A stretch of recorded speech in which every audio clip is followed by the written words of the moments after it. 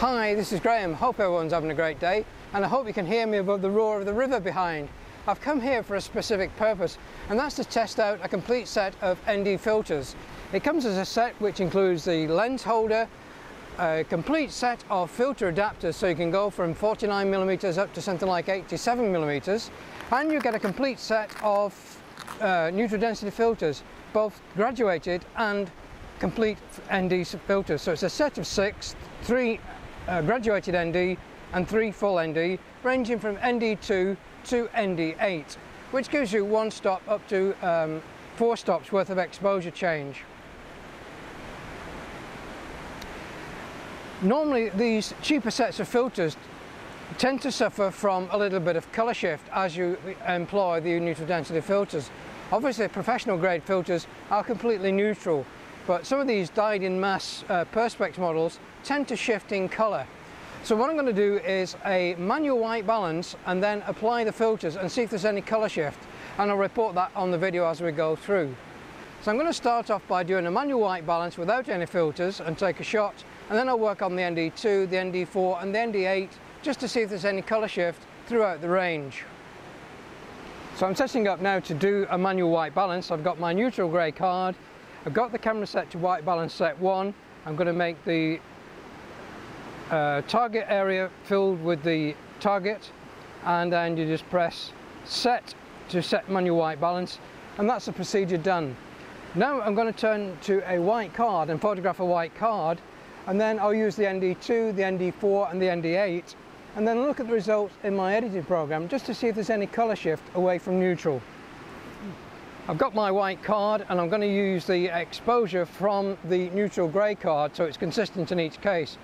I'll take the first shot which is just without filters and uh, we'll see how that appears to be neutral. I'm going to use the two second timer for this shot. And the, that's the first shot complete without filter and I'm now going to apply the ND2 filter to the pack. So it just slides into the filter holder. And I'm now going to take the second exposure again with a two second timer.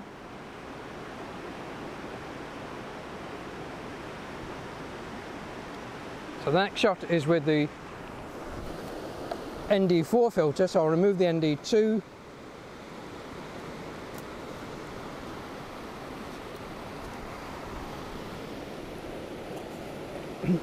install the ND4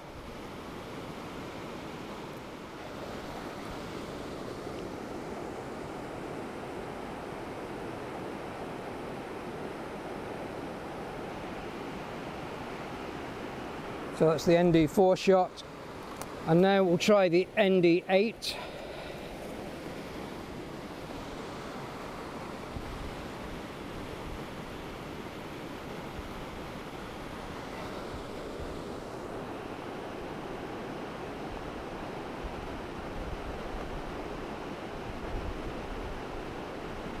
So that's the ND8 tested. I'll check those in the editing program just to see if there's been any colour shift. I'm now going to take some pictures of the water here and I'm going to use the ND4 and ND8 as the ND2 will only give me one stop increase and I need something like uh, a one second or two second exposure to try and capture this waterfall with silky smoothness. So I'll start with the ND8, the one that I got left in the filter holder and take some shots there. I'm just going to do another manual white balance set, this time on the white card before I take this shot with the ND8.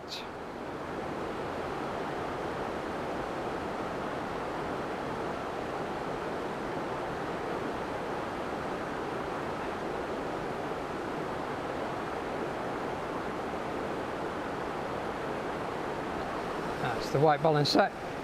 Now I'm going to take the first exposure and it's ISO 100 and the aperture is f7.1 and the camera is indicating a shutter speed of 4 seconds. So we'll see how that looks in production. Using the 2 second timer to take the shot.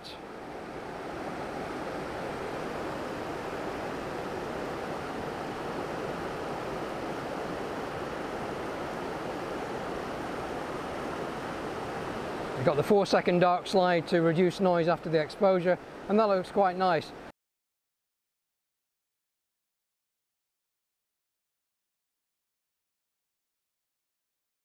Now going to switch back to the ND4 so the exposure time should be two seconds.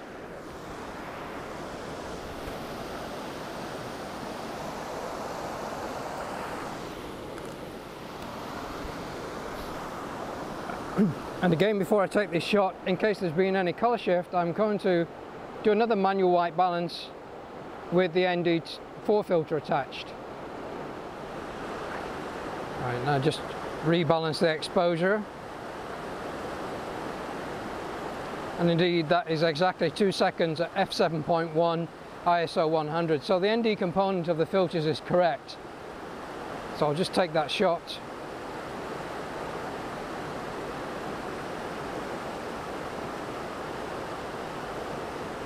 The two seconds dark slide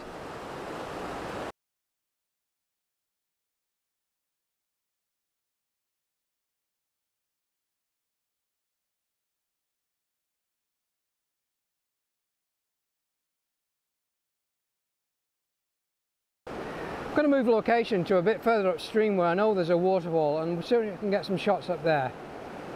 Well I've moved upriver a little bit now and it's a place I call my hidden waterfall. Anyone that lives in the Horwich area and knows Klondike will know exactly where I mean. There's been a lot of rain on the hills this uh, last week so this waterfall is actually in full flow. You can see from the water here there's a lot and you can see from the video now the amount of water that's coming down this waterfall.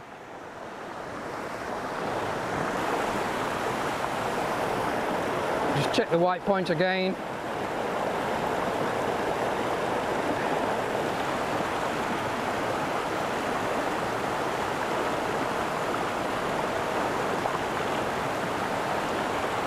So this exposure is half a second at f5.6 with ISO 100.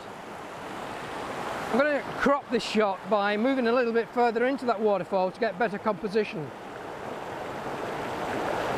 I've got the rock in the foreground which is adding a little bit more interest to the picture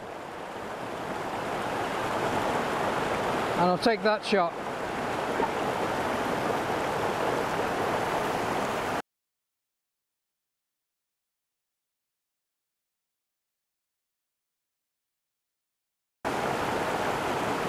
So that's with a half a second exposure without any ND filter. So I'm going to put the ND4 on there and, and take the next shot. And again I'm going to do a white balance set just in case there's any colour shift on the new density card.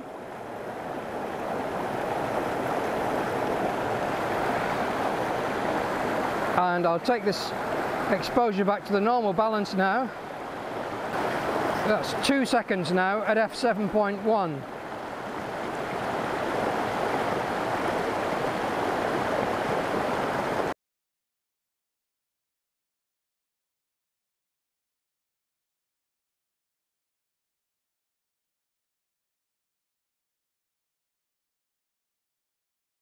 You can see now that I've moved up to the waterfall and there's an awful lot of water coming down from the moors now. The moors are very peaty, that's why the water's brown. I'm now going to set up the uh, camera to take this waterfall using the ND4 filter. Place and orientate the filter so that it's upright. I'm now going to use automatic white balance just to see what the effect is. We've done the manual white balance in previous shots I'm now going to see how the automatic white balance compensates for any filter change.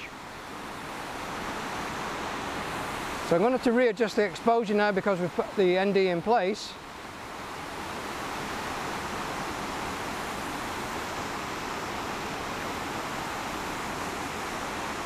And I'll take my first shot which is 3.2 seconds at f6.3.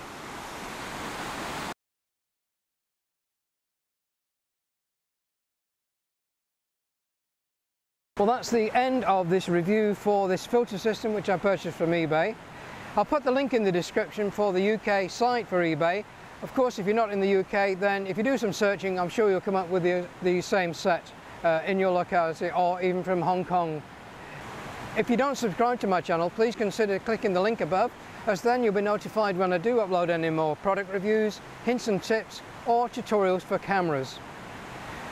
Talking about the hint and tip card, if you look at my photoblog site, and again I'll put the link to the file here in the video description, there are some new hints and tips cards which you might want to download and print out or keep on your smartphone for future reference. So until my next video, thanks again for watching, take care and goodbye for now.